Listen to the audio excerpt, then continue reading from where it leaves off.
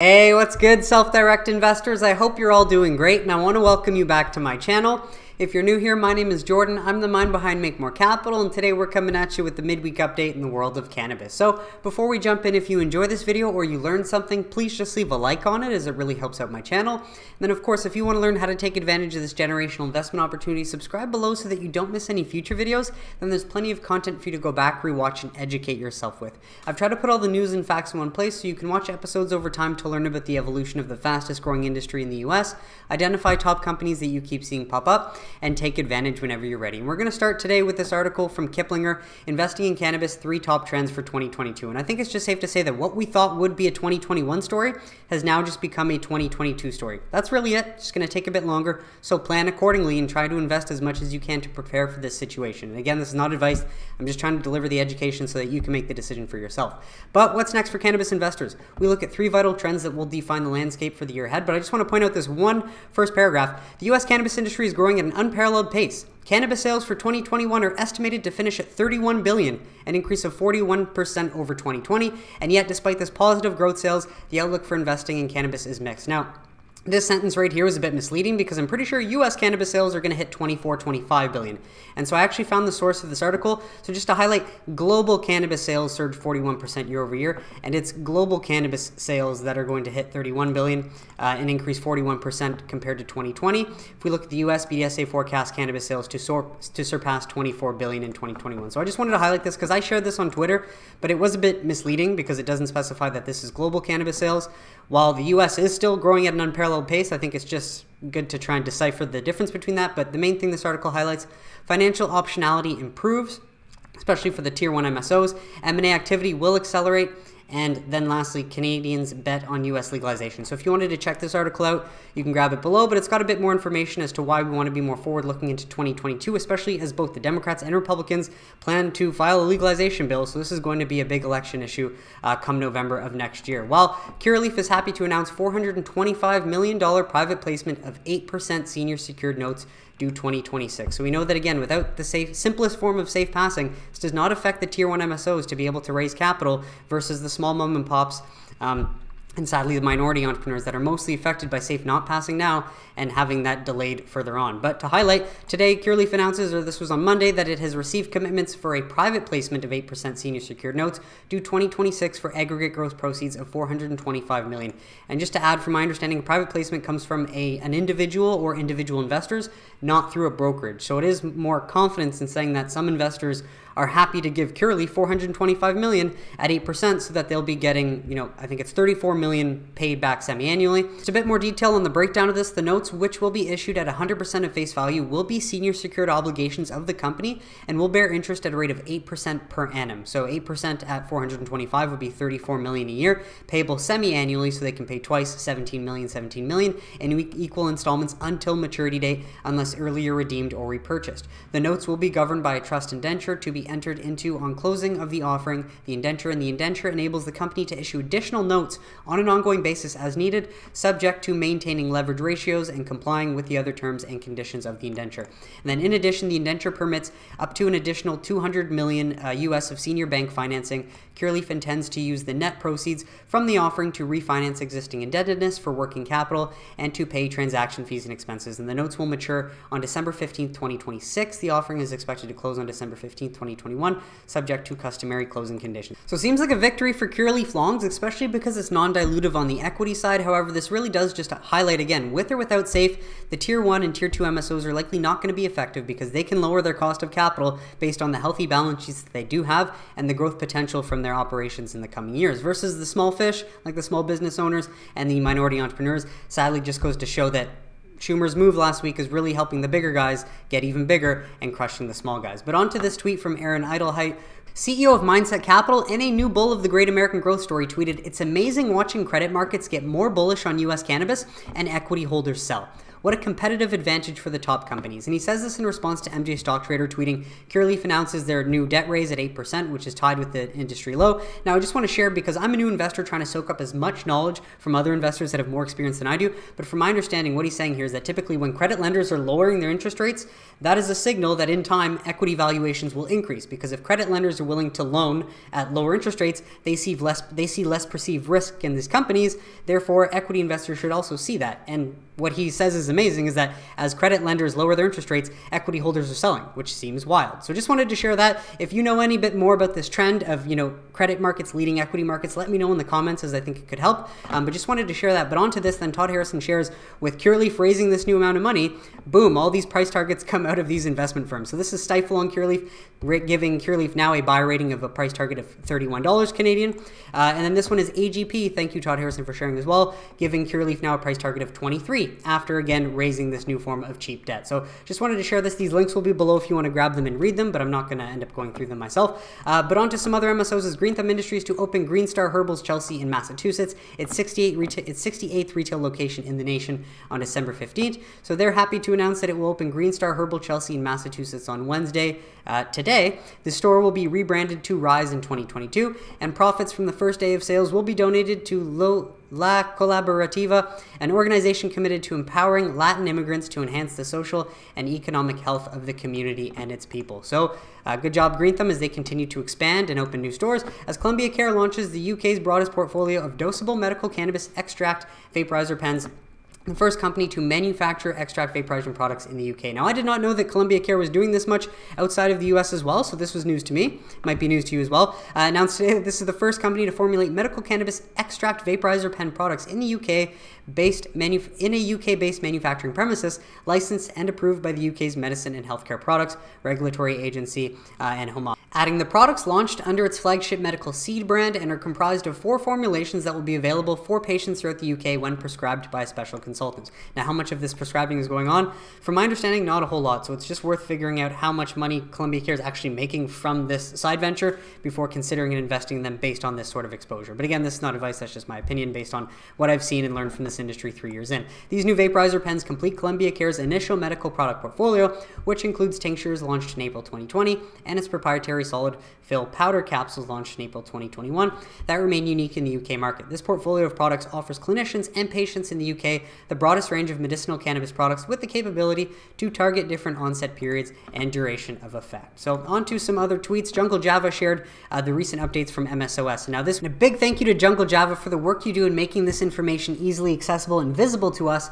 adding here are the changes made to their MSOS holdings for December 13th, 2021. Now, despite how awful the price action has been the last two days, it's more the same and it hasn't changed. I'm immune to it and hopefully you're getting more immune to it as you learn about the intricacies and how investing works while also gaining experience over time. But just to add that MSOS still has 97.3 million on hand of cash that they plan to deploy. So for anyone thinking, well, why didn't they spend that a few weeks back? This is a good thing why they didn't because the shorts, because safe didn't pass, so the shorts are still at it. Smarter for them not to act on that and allow the price to go down, but hold on to the cash so that they'll be able to buy back in time with this cash um, and create new shares um, and offset, you know, the selling that we're seeing. But I just wanted to add also, why is the selling?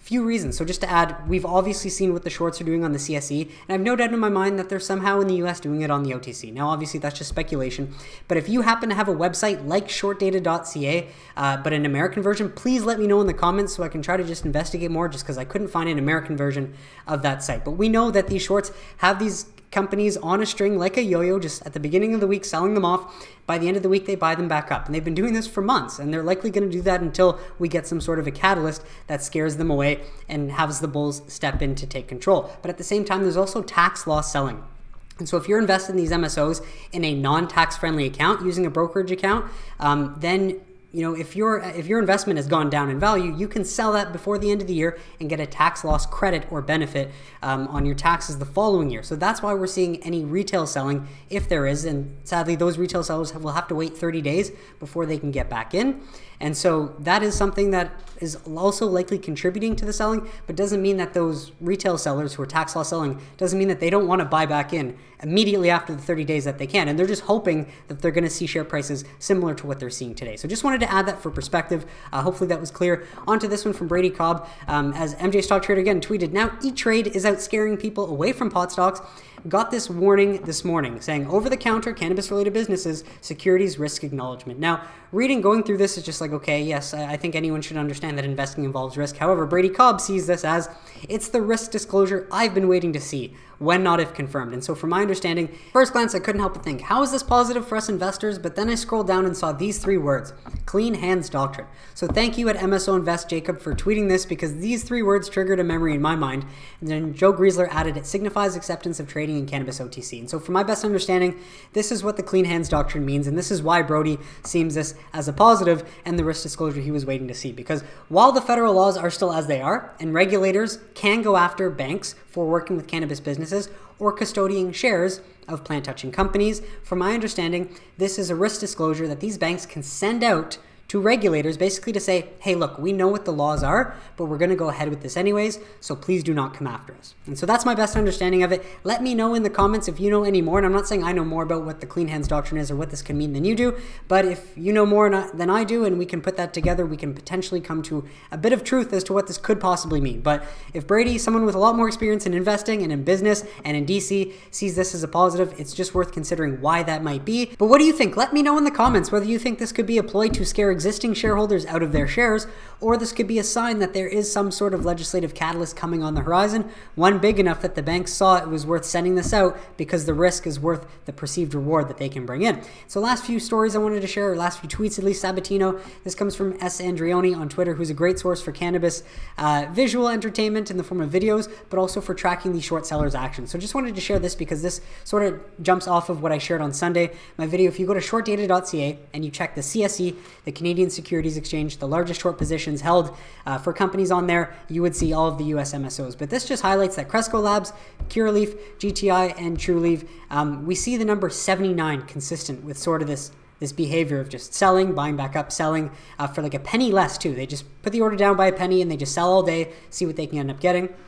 But just wanted to share that 79 is what we see in common. And what does that even mean? And I'm just trying to decipher this as best possible. A lot of US brokers use 79 to execute in Canada, by the way, much like a lot of Canadian hedge funds likely use 79. And 79 would represent as the broker CIBC, a big Canadian bank that allows the utilization of their platform. So CIBC you could consider would be willing participants allowing the sort of predatory short selling behavior whether it's from Canadian hedge funds where naked shorting is sadly legal in Canada. It shouldn't be, but it is. And from my understanding, naked short selling is illegal in the US. However, if US brokers are using a Canadian broker, it's possible that they would allow them to do the same predatory naked short selling. Again, this is speculation. If you know more about this, let me know in the comments so that we can try to arrive to an actual, uh, you know, closer truth. But just wanted to share that as it sort of touches off the, the fact that the shorts are active and continuing to do this until some legislative change happens. And then lastly, just wanted to share this one from the Dales Report, as this is a really good um, podcast with Safe Banking Act held hostage, Trade to Black podcast. But what they do here um, from 10 from 11:29 to about 28 minutes they interview the CEO of Richard Carleton, and he answers as to what the CSE is talking about in creating that second tier and how this is going to benefit the MSOs and why they're doing it. They're basically doing it for the MSOs. So I would recommend watching this if you haven't especially if you wanted to broaden your understanding into the world of finance and how stock exchanges work. On to some stories, this one from Marijuana Moment. Actually, most of these ones will come from Marijuana Moment. As congressional lawmakers file bill to streamline presidential clemency as drug war drives mass incarceration. So we love to see these call to actions, but it would be great if Biden would just do what the American people want him to do and keep his campaign promise. A coalition of congressional lawmakers on Friday introduced a bill aimed at streamlining the presidential clemency process, with supporters arguing that it could help address mass incarceration that's been driven by punitive policies like the war on drugs. Reps Ayanna Presley, Cori Bush, and Hakeem Jeffries are leading the Fair and Independent Experts in Clemency Act, with more than a dozen additional co sponsors also signed on. The legislation would take clemency review authority away from the Justice Department and establish a new independent board comprised of presidential appointees to facilitate relief for people with certain federal convictions. Seems like they mean well, but it would also just be great if Biden would do what he said he would do, or the Justice Department would do what they said they would do. Well, federal scientists say onerous U.S. cannabis regulations hinder urgent research. Yes, we know this. Because in a new paper published by the National Cancer Institute, a research team of six, including authors from federal agencies such as the National Institute on Drug Abuse, National Institute of Health, and Food and Drug Administration, turn a critical eye on cannabis regulatory systems in the U.S., writing that administrative burdens stifle much needed scientific investigation into the drug's potential health applications and safety concerns. Gosh, do we not already know this? Conflicting federal, state, and cannabis regulations hinder research in several ways, says the article published this month in the Journal of National Cancer Institute monographs, including the ability for researchers to access products that are legal in their state a lack of standardization and quality control of cannabis and cannabis derived products within and across states, and no national oversight of the standardization and quality control or the industry, with the most obvious regulatory hurdle in conducting cannabis and cannabinoid research is the Schedule 1 status of cannabis, where cannabis never belonged in the first place. So hopefully these federal scientists are getting closer to a resolution to this problem that they keep talking and talking about. Onto this one as the U.S. Supreme Court asked to settle states' conflict on medical cannabis insurance reimbursement. So this is interesting, as the Supreme Court is being asked to settle an emerging dispute on whether employees can be forced to reimburse workers for the cost of medical cannabis used to treat job-related injuries. To date, state courts have come to different conclusions on the issue, a situation advocates say warrants intervention from the High Court.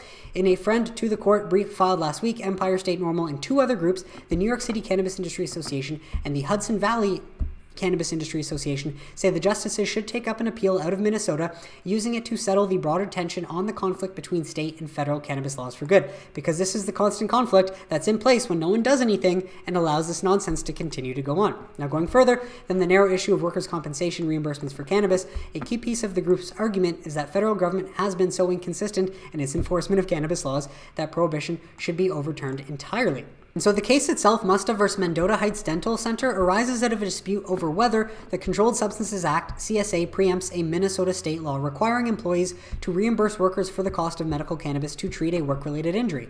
In October, the Minnesota Supreme Court ruled that the CSA indeed prevented the reimbursement. That ruling contributed to an emerging split between state courts on the issue. The Maine Supreme Court had decided a case in that state along similar lines, while Supreme Courts in both New Hampshire and New Jersey have ruled that reimbursements to medical cannabis patients can go forward regardless of federal prohibition. So, yes, this is something that the Supreme Court should strike down and just solve once and for all. That would be fantastic. And so, just to add really the juice of this, Mendota Heights Dental Centers is due to file its response to Musta's request for the Supreme Court to take up the case on January 14th. So, that's a month away. It sort of just kicks the can down the road. After that time, the justices will decide whether to hear the appeal or not. But this does really show, again, just another example of why the status quo is very much untenable. Because in certain states, you can get medical cannabis reimbursed, in others, you can't. Someone's got to make up their mind and decide what it's going to be and what it's not going to be. So I wanted to share that one. Well, this one is interesting, as Visa warns against misuse of cashless ATMs used by cannabis retailers to skirt restri- restrictions. Which begs the question Visa, what are you doing trying to crush the fastest growing industry in the US and one that 70% of the US agree that we should legitimize? As Visa, the world's second largest card payment company, recently issued a compliance memo to customers warning them that miscoding point of sale transactions through the use of so called cashless ATMs, a practice used by some cannabis retailers as a workaround to accept credit or debit cards for purchases, could lead to penalties or other unspecified enforcement action. Why don't you specify what these penalties could be so people could, you know, know what you're going to end up doing to them? So, anyways, just wanted to share this. This was the memo they sent out, but I thought, like, what does this even mean? How does this work? Because this is nonsense to me. So, this sort of explains it all. As a cannabis retailer, for example, a $45 purchase may be rounded up to $60 and coded as a cash disbursement. The retailer would then subtract the purchase price plus taxes from the apparent $60 withdrawal and return the change to the customer. To the payment processor, it would like it would look like a $60 ATM withdrawal, but to the customer, it would seem as though they'd bought cannabis with a card. While Visa's memo doesn't mention cannabis specifically, it notes that cashless ATMs, which are sometimes called reverse ATMs, are primarily marketed to merchant types that are unable to obtain payment services, whether due to the Visa rules or rules of other networks or legal or regulatory prohibitions uh, category which includes cannabis businesses. So yeah, an ATM designed for cannabis businesses or anyone doing something that might be illegal, honestly. With federal prohibition preventing most cannabis retailers from accepting credit or debit cards as direct payment, some have uh, seen the use of cashless ATMs as a convenience for customers and thus a smart business decision. Rather than maintain an on-premise ATM or ask customers to show up with cash, they can simply swipe a, swipe a card like any other retailer. Companies that market cashless ATM devices, meanwhile, remind retailers that customers tend to spend more when they can pay with plastic. While Nathaniel Guerin, CEO of FinCan, which provides financial services specifically to cannabis businesses, estimated that thousands of cannabis retailers in the U.S. currently use what he called the cashless ATM solution in order to accept cards. He set a, a setup he described as clever, attractive, and likewise fraudulent. What keeps me up at night, well, and it's only fraudulent again because the federal government refuses to change those laws. What keeps me up at night is that when, not if, one or more eager assistant U.S. attorneys with their eyes on advancement sinks their teeth into this, it has the catastrophic potential to derail our industry's momentum and inflict great damage, he said in an email to Cannabis Moment or to Marijuana Moment. While Visa's compliance memo is brief when it comes to enforcement, misuse of cashless ATMs will be subject to non-compliance assessments uh, and or penalties or subject to further compliance enforcement. It says, but it does not include any details. So it's annoying. The company did not immediately respond to emails uh, and phone message from Cannabis Moment.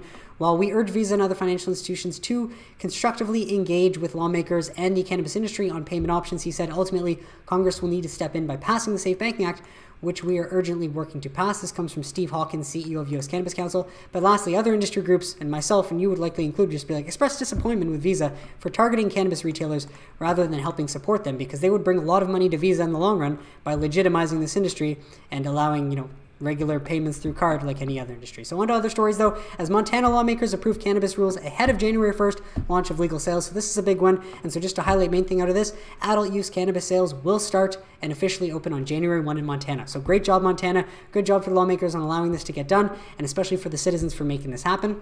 Well, out of New York, 400 plus New York towns, villages opt out of adult use cannabis sales. So this comes from MJ Biz Daily. A large number of municipalities in New York states are choosing to forego adult use cannabis shops and consumption lounges, at least initially. A total of 252 towns and 162 villages have chosen to ban recreational cannabis sales, while 279 towns and 179 villages chose to ban consumption businesses. The Associated Press reported, uh, citing tracking information from the Rockefeller Institute of Government. The ban comes ahead of December 31 deadline deadline for municipalities to make a choice on whether to allow cannabis businesses within their borders. So, according to the APP, 414 have banned sales and 458 have banned consumption lounges, representing more than 25% of the state's towns and 31% of villages. So this is still a minority percent. Um, it seems like, based on this information, more states than not actually did allow sales and did allow consumption lounges. So not sure why they want to lead with the negative. I guess it's because you know people uh, are more drawn to negative stories because it rattles their emotions a little bit more, but just wanted to highlight that. As these bans can be repealed at a later date under state law if they decide that they do then want a dispensary, um, and adult use sales aren't likely to begin until 2023 anyways, as sadly New York continues to kick that can down the road. But another positive news, St. Louis mayor signs bill to decriminalize cannabis possession and cultivation. So big win for the citizens of St. Louis, as mayor of St. Louis on Monday signed a bill to decriminalize cannabis possession and cultivation for adults, a local reform that comes as efforts to legalize cannabis statewide in Missouri is also gaining momentum. The St. Louis ordinance signing comes weeks after the Board of Aldermen unanimously approved the legal legislation, which makes it so 21 adults 21 and older can possess up to two ounces of cannabis without facing the civil penalty that's currently in place. It would also make it so no resources could be spent to punish adults for cultivating up to six flowering plants. Importantly, the measure only affects local policy and does not change Missouri state law that continues to criminalize cannabis for non medical use. And while this is a positive because it stops criminalizing people for possession in St. Louis, sadly, not launching an adult use market at the same time really does just invite the black market to come in and invites organized crime groups to come in, supply that demand, and become even more powerful and successful, sadly. So hopefully they can get on that sooner than later. But onto this one as Malta to legalize cannabis for personal use in European first. So Malta will this week become the first European country to legalize the cultivation and possession of cannabis for personal use, pipping Luxembourg to the post as the continent undergoes a wave of change to its drug laws. Possession of up to 7 grams of the drug will be legal for those aged 18 and above, and it will be permissible to grow up to four cannabis plants at home with up to 50 grams of dried product storable. And a vote in favor of legislation in the Maltese Parliament on Tuesday will be followed by the laws being signed into the president or signed by the president in order for it to be enacted by the weekend. Owen Bonnici, the minister responsible, told the Guardian. And so I saw a tweet from Owen Bonnici yesterday saying the ayes have it and they did vote for it. So we should see this signed into law before the end of the week, and I'll report on that on Sunday. So good job, Malta, getting this done first in Europe. Well, lastly, just another study to highlight the benefits of medical cannabis. Medical cannabis certification is associated with decreased opiate use in patients with chronic pain, a retrospective cohort study in Delaware. It's more of what we already know, but positive because it seems like another legitimate study to determine if medical cannabis certification helps patients in Delaware with chronic pain reduce their opioid use. So, results the average change in prescribed opioid use was found to be negative 12.3 morphine milligram equivalent units when including all individuals. Among the included individuals with baseline opioid use, medical cannabis certification was associated with a 31 14.3% average decrease in opioid use. That's pretty big. When examining subgroups based upon pain location, individuals with neck pain displayed a 41.5% average decrease in medical cannabis use, while individuals with low back pain were observed to have a 29.4% decrease in opioid use. Similarly, individuals with knee pain reduced their opioids by 32.6%. The results display an association between medical cannabis certification and a decrease in opiate use among study group individuals. What do you know? The study suggests that medical cannabis use may help individuals to reduce their opiate requirements along with physician intervention, and based on with other studies, we know that it will help them reduce opioid use.